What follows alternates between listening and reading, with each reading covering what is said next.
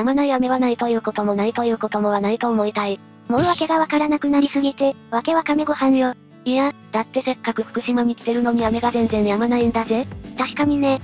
濡れないように行動するのが大変だわ。いや、もうレイムめっちゃ濡れてるぜ。えー、どこが？脇が。そんなに脇汗かいてねえいやだって空からこんなに。それ雨だから、脇汗じゃないから。なんなの私の脇汗は天なの、天の恵みが湧く脇なのとか、言っているうちに。あだたら渓谷自然遊歩道に着きました。ナビで言うとあだたら山奥竹の湯のさらに奥にある遊歩道で、40分程度で見て回れるから気軽に行けるんだぜ。これもう走っているよりも水路ね。ここを渡れば目的地。いや全然入り口。問題ない15メートルまでなら。どこの通うよ？遊歩道は木道が整備されているところもあるけど、滑りやすい岩がゴツゴツしたところや、階段も多いからちゃんとした靴を履いていった方が良いわね。川沿いに歩けるのが素敵だし、途中に滝や橋なんかがあって面白いんだぜ。ちなみに並行している登山道があって、帰りはそっちから帰ると広くて楽ちんだわ。ただ、行き先を間違えて登っちゃわないように注意ね。これ、間違えたらどこに行っちゃうんだ？山よ。そりゃ登山道だからな。駐車場に戻ったら、レイダー。息合わなすぎ。道の駅土湯でお土産を買い付きのこ汁をいただくぜ。このキノコのこのこきこのこがき、きのき、のきのこがががきのこがわたわた私をキノコのこきのこきのこが。落ち着け。ちょっと冷静になっててトロドトキシンでも飲んできなさい。キノコ奉仕ブシャー。落ちてく。さて、落ち着いたところで次の目的地に行くわよ。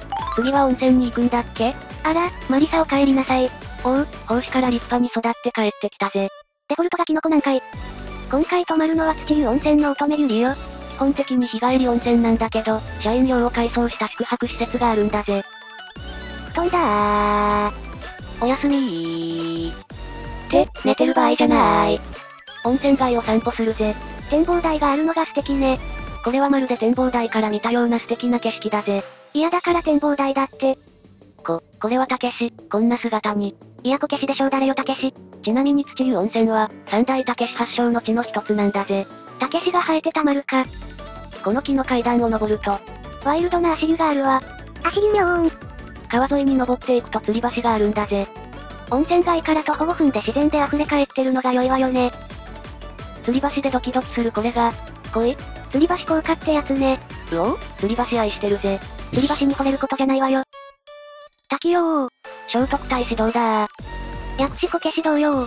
たけしー。たけしでけー。さて、散歩もしたし一休みよ。温泉卵とプリンの専門店厳選湯安森山だぜ。なんとプリンを買ったら、温泉卵がサービスされるわ。プリンはいろんな種類があったけど、ここはプレーンをいただくわ。おおこのプリンめちゃくちゃうまいな。温泉卵も絶妙な加減ね。温泉に戻って入ったけど、とっても気持ちよかったんだぜ。お風呂上がりにはスーパーで買っておいた、落王杯カフェオレをいただくぜ。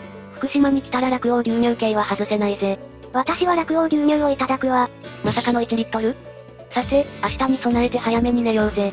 そうね、バンダイアガスマスカイラインが通れると良いんだけどね。まあ、ダメならダメで他に色々行ってみようぜ。そうしましょう。それにしてもレイム。